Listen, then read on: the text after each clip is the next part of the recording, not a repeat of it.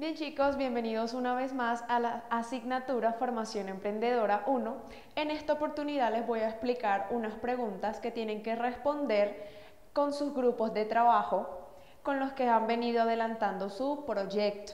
Entonces, ¿cuál es la idea? Usted en un documento Word o PDF tendrá que dar respuestas y aplicar todo lo que ha venido desarrollando con su grupo de proyecto en estas preguntas claves para vender tu proyecto a un inversionista en 15 minutos. Entonces, todos los integrantes del equipo deben tener el mismo documento, ya sea Word o PDF, exactamente igual, cargado en su plataforma, pero con los nombres de cada uno de los integrantes. Es decir, si son 5 personas, 4 personas, 3 personas, el número de integrantes que ustedes tengan deben estar allí en ese documento que van a cargar y deben cargarlo en la plataforma de manera individual. Entonces, usted debe iniciar de la siguiente manera. Son aproximadamente 12 o 13 preguntas. Entonces, usted debe iniciar de la siguiente manera.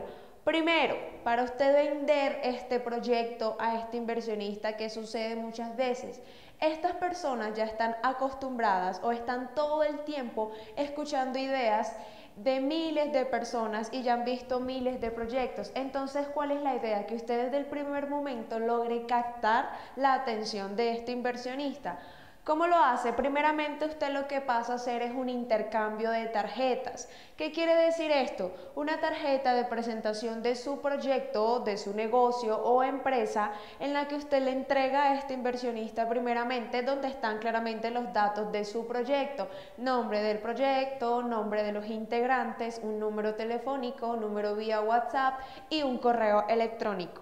¿Sí? Entonces la idea es que usted haga, un, haga la tarjetica en su documento Word o PDF que va a cargar y que pueda pues cumplir con el ejercicio. Asimismo, esta persona inversionista, en cuanto a si estuviéramos haciendo el ejercicio real, cuando lo llevemos a la realidad, le va a entregar la tarjeta de presentación. Entonces, he aquí la importancia de tener el intercambio de tarjetas. Segundo, usted va a iniciar ese documento enfocado en el, en el problema que encontró. Es decir, usted debe entrar de lleno a hablar del el problema como tal.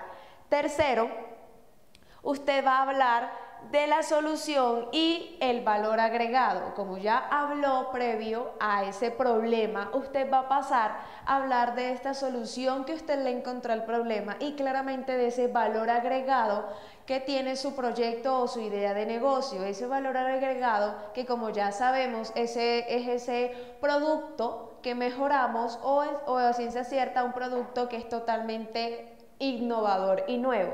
Entonces, cuarto, usted debe hablar de su equipo de trabajo, es decir, debe eh, identificar y especificar en ese documento y al inversionista cuando hagamos el ejercicio, debe explicar quiénes son las personas que están llevando a cabo este proyecto con usted, cuál es su apoyo y su equipo de trabajo y qué roles tiene cada uno, qué roles cumple cada uno de ellos en la organización.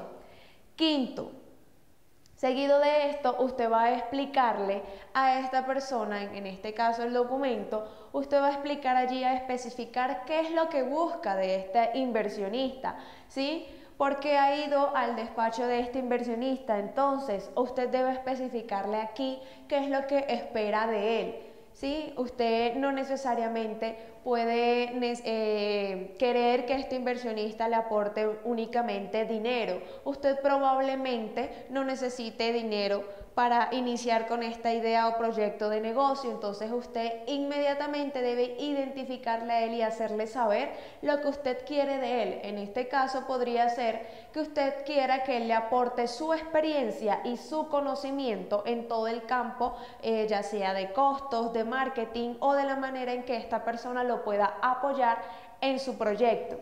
¿Sí? Y pues sí, claramente ya es una cifra de dinero, usted debe ser claro y preciso e inmediatamente especificarle de cuánta cantidad de dinero está usted hablando para que él se haga la idea de si puede o no apostarle a este proyecto y si inmediatamente él va a ver si es factible y viable.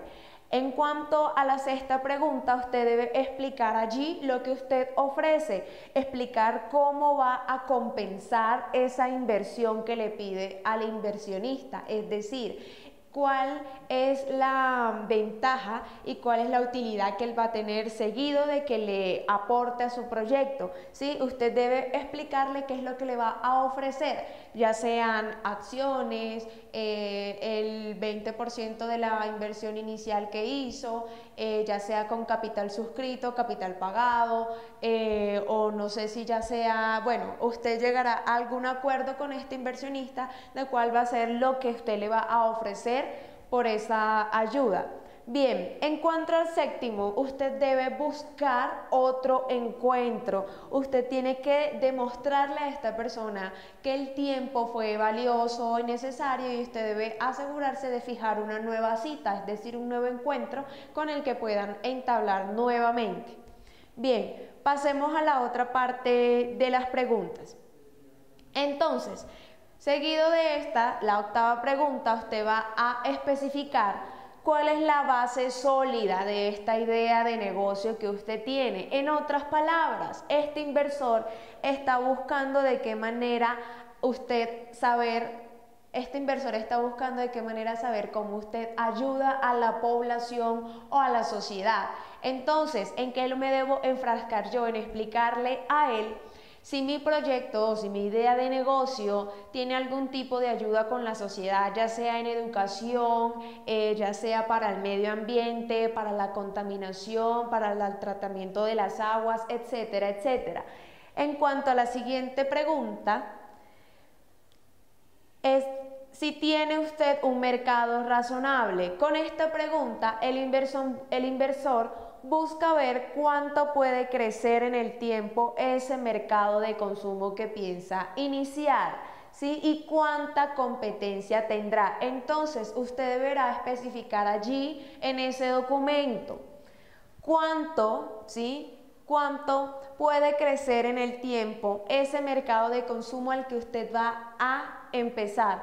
Cuánta competencia tendrá y cuánto será el porcentaje de la población que usted abarcará. Es decir, si, usted, si su producto estará enfocado únicamente para que esté en la zona de Cundinamarca, usted debe especificar que será solo en Cundinamarca. Si su producto a futuro o inicialmente estará en Cundinamarca, pero usted especifica que a futuro estará en La Guajira, en la costa, etcétera, etcétera, eh, es ahí donde usted debe especificar esta parte. En cuanto a la siguiente pregunta, el siguiente interrogante, usted debe ser realista con las expectativas que plantee, es decir, en ese documento usted va a plantear todas esas expectativas a donde usted quiere llegar con este proyecto o, este, o esta idea de negocio, pero estas expectativas deben ser realistas, no pueden estar, no pueden alejarse de la realidad.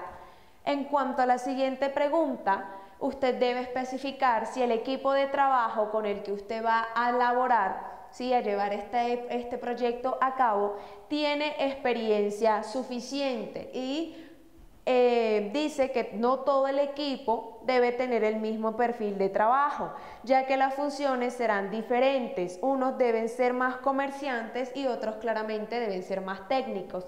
Entonces usted allí debe identificar ¿sí? ese potencial que tiene cada uno de sus integrantes del equipo de trabajo. Es decir, eh, María va a estar en la parte del marketing porque tiene cualidades para este aspecto.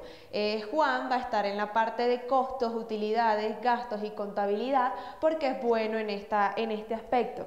Entonces, en cuanto a la siguiente pregunta, usted debe especificar allí en ese documento cuándo y cómo se recuperará la inversión, ¿sí? Es decir, usted le va a decir a este, a este le va a explicar a este inversionista, en este caso en el documento inicialmente, como ya lo he dicho, cómo y cuándo va a recuperar su dinero. Entonces ahí usted va a establecer un plazo. Si, ejemplo, la inversión fue de 20 millones, usted le va a decir a esta persona que la va a recuperar, no sé, en cuatro años, tres años y medio, cinco años. Eso ya dependerá del estudio que usted previamente debe realizar a este ejercicio. Lo que yo les he dicho, en, para este ejercicio lo que quiero es que usted haga un estudio de mercado y que verifique y que estas cifras sean lo más cercanas a la realidad posible. Bien. chicos, era lo que quería compartir con ustedes. Entonces eh, tienen hasta eh, toda esta semana, hasta el domingo, las 23 horas para que puedan eh, subir a la plataforma esta actividad. Nos vemos en una próxima oportunidad y si tienen dudas no duden en dejarme un mensaje por vía plataforma. Hasta pronto.